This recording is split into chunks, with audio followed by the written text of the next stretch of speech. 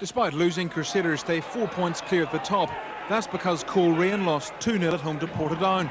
Robert Casey got the first five minutes after the break. And Gary Haylock made it a dismal afternoon for the home side with a second goal 16 minutes from time.